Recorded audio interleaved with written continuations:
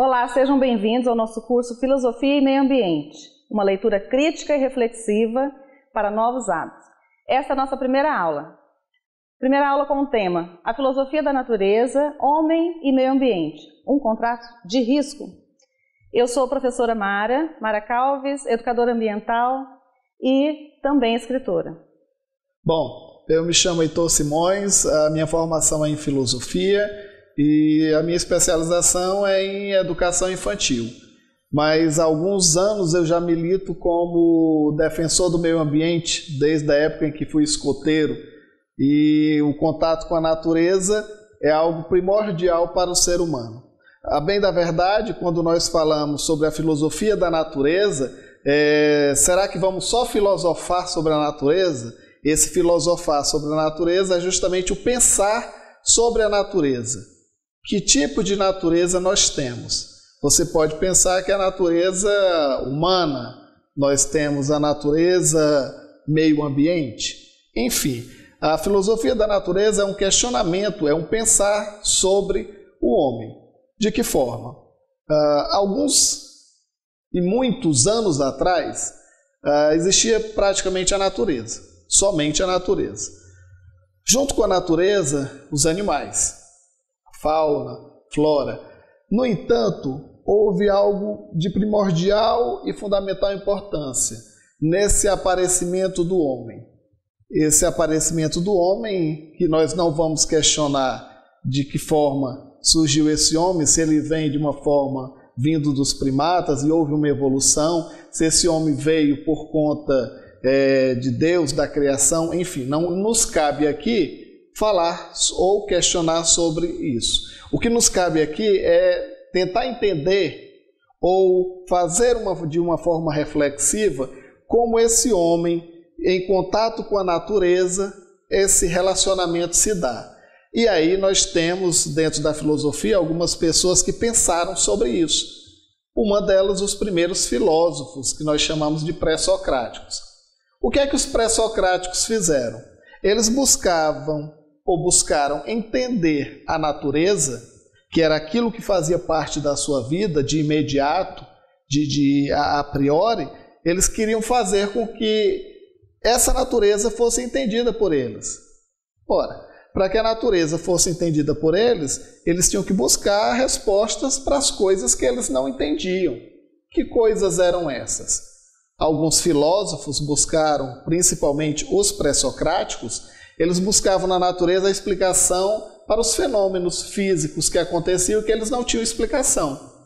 Isso, quando vemos qualquer assunto de filosofia que trabalhamos com os pré-socráticos, nós vemos que é, Tales de Mileto achava que a água era o princípio fundamental, que a vida vinha da água.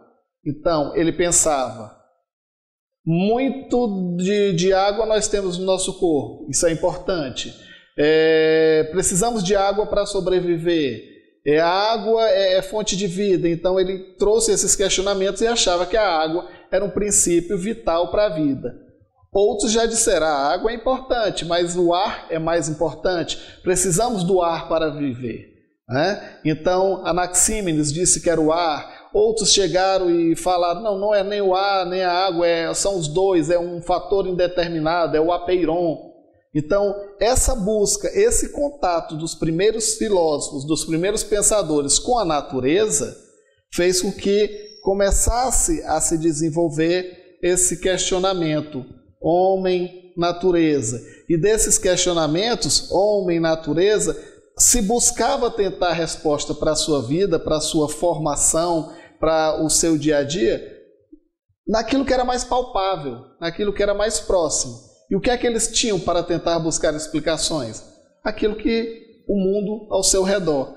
Essa natureza não é à toa que Aristóteles, é, na sua physis, essa busca da natureza, e natureza physis do, é, do grego, é, ele buscou na observação, na observação das coisas, essa, esse conhecimento para que pudesse responder às coisas. Então, por exemplo, nós temos a natureza de início.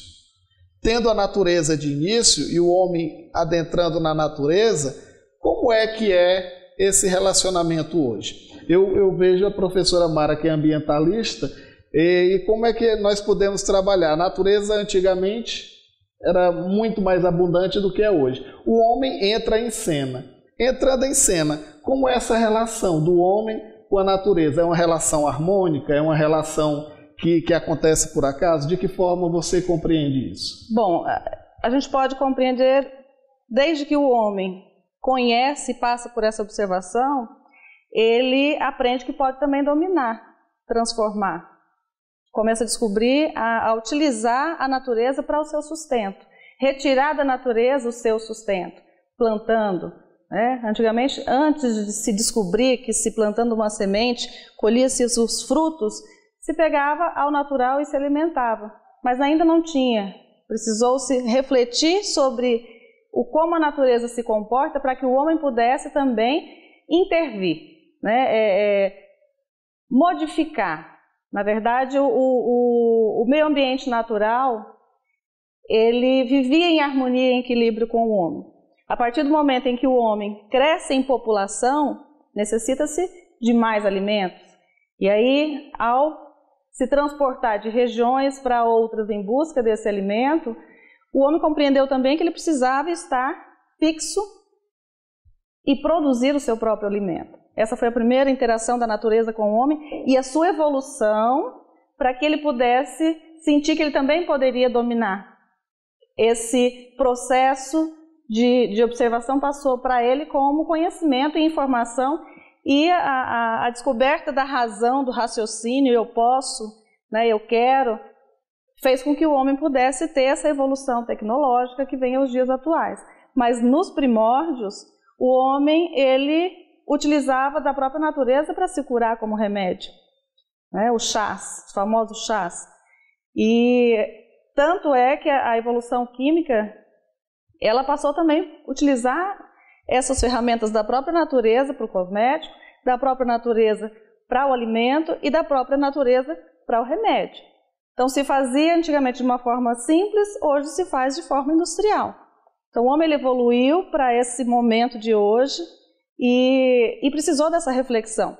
É por isso que o curso ele traz a filosofia para entendermos um pouco melhor essa intervenção do homem com o seu meio, de forma reflexiva. Por quê? Porque a filosofia ela traz esse parar para pensar.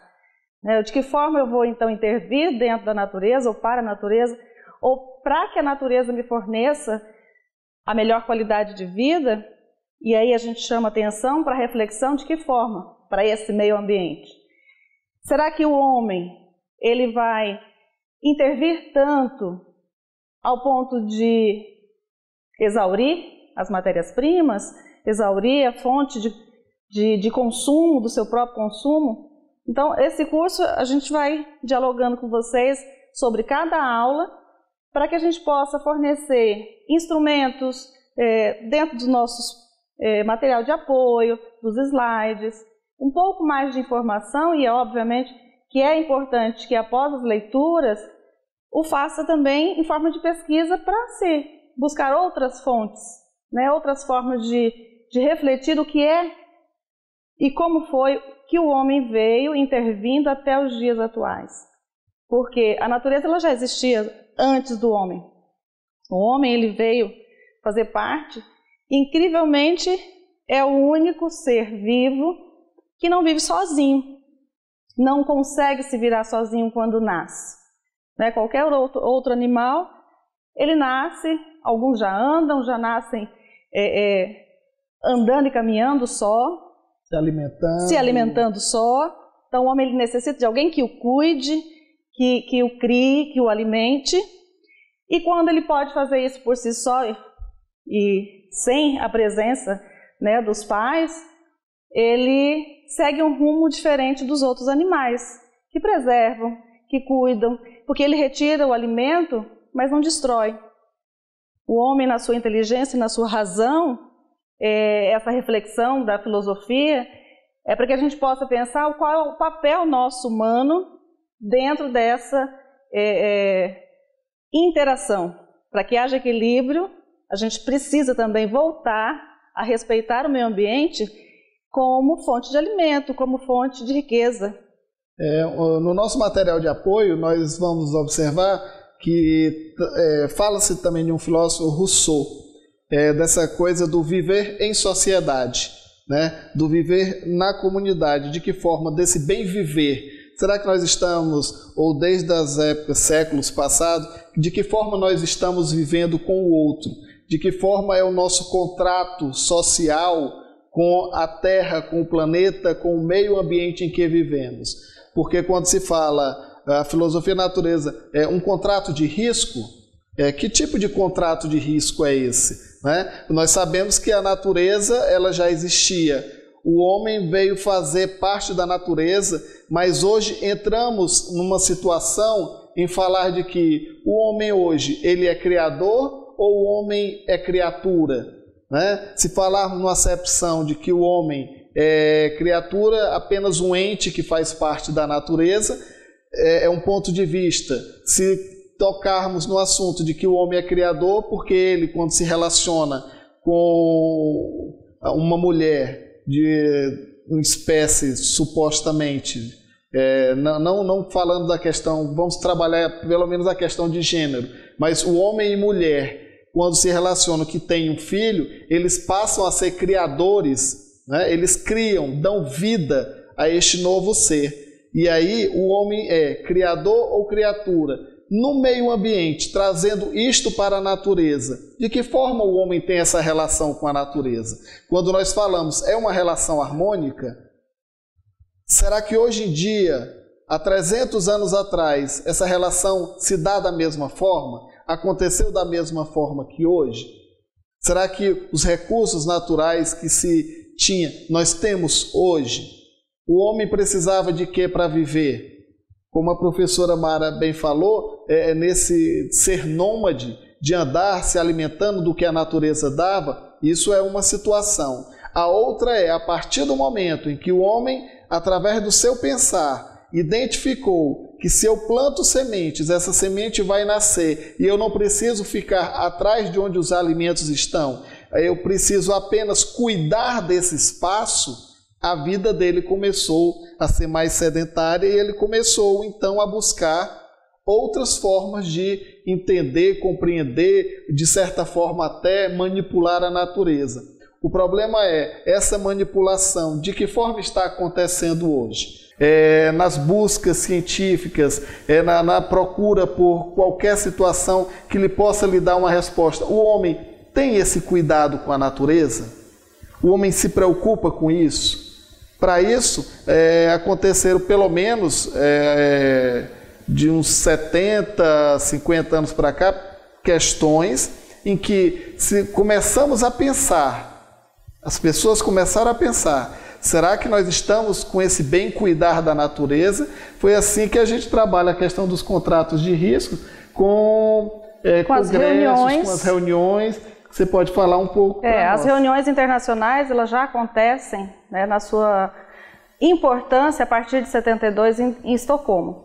Mas é, o Brasil ele teve né, uma, um momento muito especial em 92, da Eco 92, e da Rio Mais 20, depois de 20 anos, dois eventos que reuniram todos os países mundiais que se interessavam e se preocupavam da importância da discussão e de criar novas oportunidades. E a Agenda 21 foi uma das é, é, proposições que nasceu na ECO 92, que era uma agenda de onde cada país, o que cada país poderia ajudar para que 20 anos depois, na Rio Mais 20, nós diminuíssemos né, os, os tipos de poluições, as queimadas, é, o que envolve eu manter a minha população alimentada, preservando e desenvolvendo, que aí nasceu a palavra sustentável nesses encontros, desenvolvendo sustentavelmente.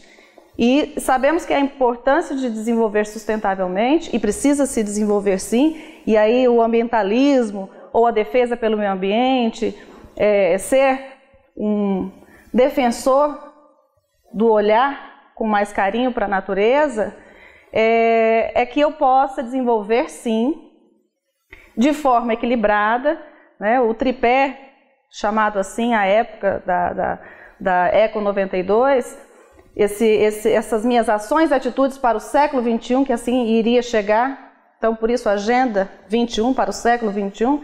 Essas ações precisavam pensar em um ambiente ecologicamente equilibrado, em uma socialmente a minha sociedade que cresça também de forma justa, igualitária, com divisão né, da, da, da qualidade de vida para todos, da oportunidade de se alimentar também para todos. Então, eu preciso desenvolver economicamente? Sim. Politicamente, importantíssimo para que as pessoas possam saber dos seus direitos e deveres. Né? Socialmente, para que a gente possa pensar de forma humana, fraterna, solidária, né? é pensar no outro, o cuidar sim da natureza, mas o cuidar do seu próprio semelhante. E, finalmente, a, a parte ambiental. O, o meio ambiente, ele está comprovadamente, se o ser humano deixasse de existir na face da Terra, a natureza ela iria se recompor e voltar ao que era antes. Tudo viraria natureza, fauna e flora, e os animais dentro do ecossistema vivendo em equilíbrio e harmonia. Então, o homem é que precisa entender a importância dele viver em harmonia e equilíbrio e de forma humana com o seu semelhante. Então, encerrando essa aula, essa nossa primeira aula, nós pedimos para vocês irem né, aos slides do curso, acessar o material de apoio e observar que aqui nesse curso, nesse pequeno espaço de 60 horas, nós não vamos conseguir dar conta de tudo. Então, aqui nós vamos levantar questões, nós vamos levantar perguntas e colocar algumas situações para que você possa ir por livre e espontânea vontade ser filósofo por um dia. Né? E filosofar é isso. Fazer as perguntas para si, fazer as perguntas para a sociedade, questionar tudo que o cerca, da hora que acorda, da hora que dorme, porque tudo está envolvendo o meio ambiente. O que eu como, onde eu durmo,